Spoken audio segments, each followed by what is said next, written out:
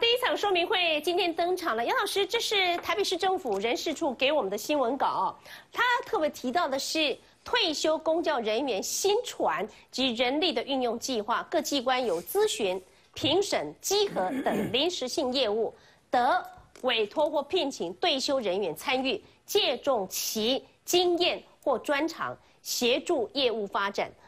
这里头有每一年五万七千。七百二十八人次，每一年的金额一亿六千四百三十万七千九百二十块钱。姚老师怎么看？这算不算政策买票？来，姚老师怎么看？这个政策买票我都说不上，这是一个政策骗票。这理由非常简单，第一个，这个消息本身是市政府发出来的，市政府如果不发，媒体不会有独家。也不会有这么具体的，什么座谈会啊，什么五万职缺啊，这些都不可能出现。所以这些都是市政府希望能够透过这个来扩大放送，媒体也夸大它这个内容，说是五万职缺优先这一个呃呃对待这个公教人员。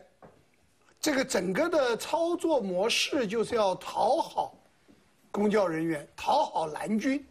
简单的说，那这个当然就是这个一个选举操作。可是我为什么说它算不得政策买票？买票的意思是，它实物上确实能够到位，确实能够让五万多个公教人员能够有一个职缺，让他们能够有第二春。可是事实上不是，我想透过大家的仔细的看到就可以知道，第一个这只是一个平台，公教人员只是在这个平台上，啊有一个比较呃呃优势的地位。第二个，他根本就不能够按法律，公教人员就不能优先，这是他们劳动部自己说的，而且他根本不是职缺，是人次。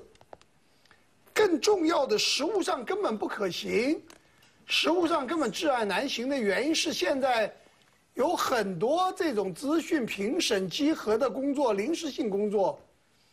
举例来讲，最多的只对于基层照顾比较多的以工代赈的临时性工作，以工代赈这种临时性工作根本还在排队，根本没有那么多工作可以试出来。那你如果今天更增加排队的人，增加五万人次排队的人，嗯，那就根本好看根本吃不到，嗯嗯。所以这个就是政策上，他只是画了一个大饼，好听，说也对公交人员非常友善。可惜的是，这个没有办法，这个呃能够实际落实到。这个讨好蓝军的目的，所以我想说政策买票都说不上，因为他买不到票。OK，呃，叫 杨老师说叫政策骗票，不止不是政策买票，叫做政策骗票。可是为什么蓝绿通通都反对呢？而且还说疑似打假球哦，八万的公仆大军如果都运作的很好，突然之间挤出了有五万，好，我们不要讲直缺好了，五万人次。那到底是为什么？这里头都没有任何排挤的问题吗？政策骗票？那如果是政策骗票的话，可以吗？法律上没有任何的问题吗？来，廷飞怎么看？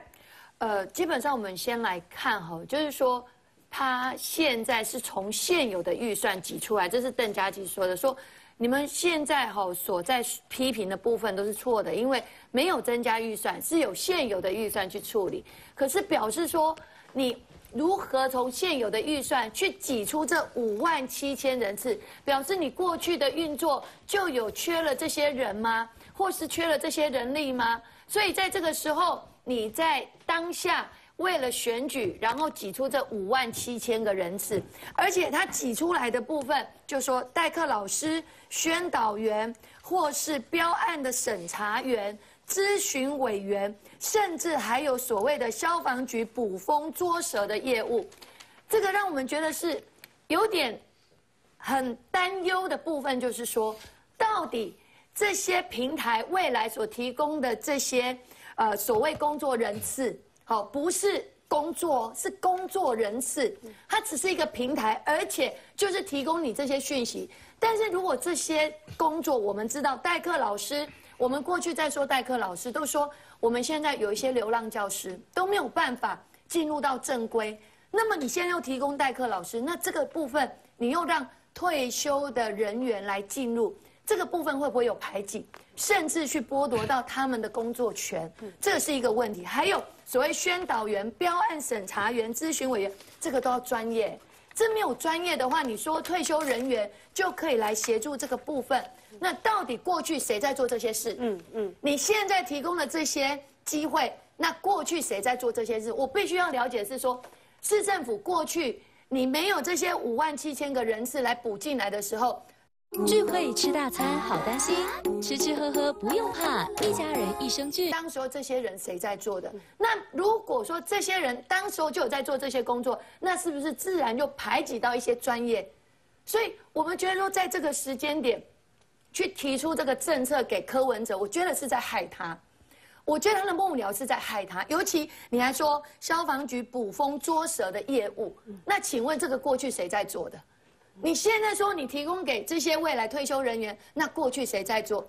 那表示这些是没有人在做。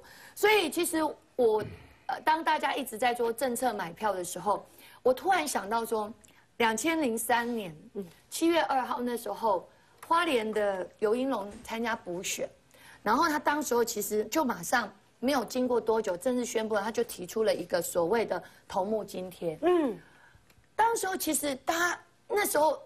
还记得阿炳还为这个事情出庭应讯，出庭应讯被李子春啊，当时的检察官调去出庭去问这件事情。嗯，那当初也吵得沸沸扬扬。说真的了哈，或许这个呃，现在柯文哲所提的这个跟政策买票还有一个距离。嗯，可是我们真的很很担心，也要提醒柯文哲的幕僚。嗯，现在选举的时候真的很小心。你像当初游泳就被这个头目今天。搞得原本可能有机会哦，搞到最后没有机会，因为大家又开始质疑他，你这就政策买票。结果李子春检察官也在那个时候也去做了调问跟出庭，整个花莲县的过程就是开始不断的讨论，认为说哇，你这个真的是贿选，然后有有问题。但是呢，等到最后还他清白的时候，是结果选举补选已经完了，所以当时只是一个证件。呃，身为民进党党主席的陈水扁，也是当时的总统，都被调去问的大阵仗。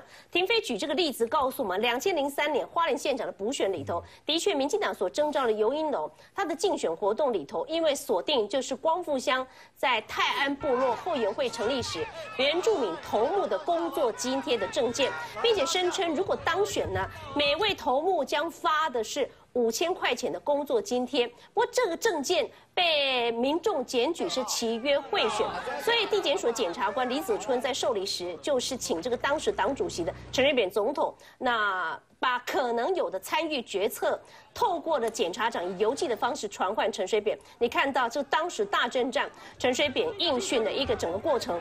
我想请教是国栋大哥，如果两相比较几下，锁定头目津贴跟现在你锁定是退休的公教，哪一个比较严重？这个牵涉到一点六亿哦，来。怎么样看柯文哲在这个时候？其实我们蛮乐见的，在首都这一场大选当中，寻求连任的柯文哲终于提出比较具体的政见。这一回的政见是花一点六亿五万人次撒给退休的公教人员，有特殊的族群哦，没有排挤吗？市政的业务之一，过去市政有外包，有约聘雇人员，五万人次突然间冒出来。你觉得没有造成排挤吗？来，国荣大哥怎么看？我们先不要去讨论说他这个政策是买票啦，还是去骗这个金公教人员？他这两种心态。第一种，他到底是无知对法律无知，这里面这个政策违反的就业服务法，他无知不懂，还是他明知道这里面会触法，但是他不得不推，这就是他的心态。我们举一个最简单的例子来讲，老人敬每年的敬老金。一千五百块，他把它砍掉，让他的民调跌十五趴，他不惜不要，说这个是买票，所以我要砍掉，一年七亿，他可以省七亿，洋洋自得。然后哦，他很有气魄哦，外县是在花老人年金都被他讲是买票哦，那你这一次要花一亿五千万对金公教人员，来让他们相有个可以兼职兼差，不管他怎么兼职兼差啦，谁给他包装这个政策，我们先不要管啦。可行不可行，我们先不要管，因为现在外面大家都在讨论他这个，这根本不可行的，是根本来打打打工一样，一天领多少钱，用这样来骗人的，说五万人次，大家都在争论他这里。可是我们从从他心态来看，他为什么不要老人族群，宁可砍掉他，说这是买票，然后要花一亿多去讨好这些退休金公教人员，这是什么心态？我们必须要研究出来。第二个。他是很莫名其妙，以前告诉我们他的政策在执行的时候都有一套 SOP，那我现在要问他，他这个政策在讨论的时候，各相关单位有没有坐下来？至少劳动局你应该请他过来坐在这里，劳动局局长一定会讲说，哎，这委员有起就这么贪哦，这都可以看广告，马工你在买票，还是你这个优先保障等于是违反就业服务法，应该会有人讲啊，是，说不定里面。还有那个体育局的、官传局的会讲市长，嗯，去年四大一你才骂这一批人抗争说王八蛋，那你现在为什么又这样子对他们？人家会觉得你奇怪啊，一定会有人质疑他，他难道都没有去想过吗？你当时这些退休军官在那里抗争的时候，扰乱你的时代，你公开的侮辱他们、骂他们，现在你又要讨好说哦，来我给你们一有一点这种兼职的工作给你们，那你这个到底是什么心态呢？所以我是从整个这两个心态来看，他现在为什么要做这些人？底下人为什么帮他设计这样来讨好这些退休金公教？很显然，他的民调已经在开始下滑了。他必须要掌握住这个政策一出来，蓝绿都骂。嗯啊，姚文智今天六大问题问的很好啊，让他说就你这个到底是什么政见？啊，丁守中也骂。嗯，那他他到底讨好谁？人家搞不清楚。是，所以我说他一个政策的执行，并不是像他过去选举前一样，让人家觉得说你做每一件事情都有一定的步骤，很了解。现在显然证明你根本对市政政策的执行根本就不了解，也没有能力嘛。所以我说这个凸显出来，你到底还有没有能力来治理这个台北市？现在问题是越来越严重喽。现在不只是这样的问题，现在大家在考验他决策力到底谁替你在掌握？我都怀疑他幕后有地下市长在替他做这个决策的。